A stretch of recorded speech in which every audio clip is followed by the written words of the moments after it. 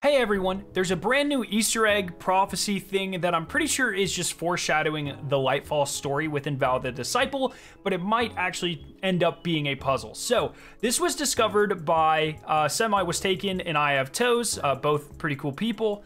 Um, they noticed that when you're going through the raid, so for instance, here's a clip of me going through the raid, Right after this second encounter, the caretaker encounter, you come to this room, and this room has a bunch of spots on this wall, and pretty much every time you do it, I believe there's only one symbol filled. And what they did is they went through a lot of VODs, they found people's POVs from doing this raid, and they plugged in all of the symbols, and that is what made this uh, graphic right here.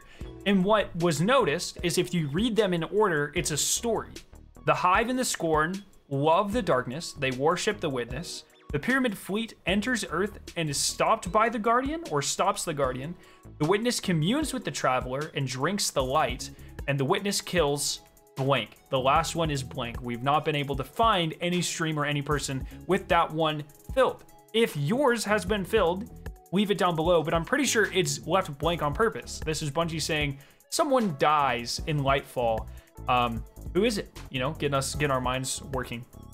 Now to test this, we did go to the symbol room at the beginning of the raid and we entered this exact sequence in order a ton of times with different things at the end.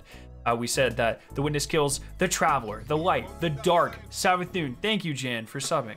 Um, worm.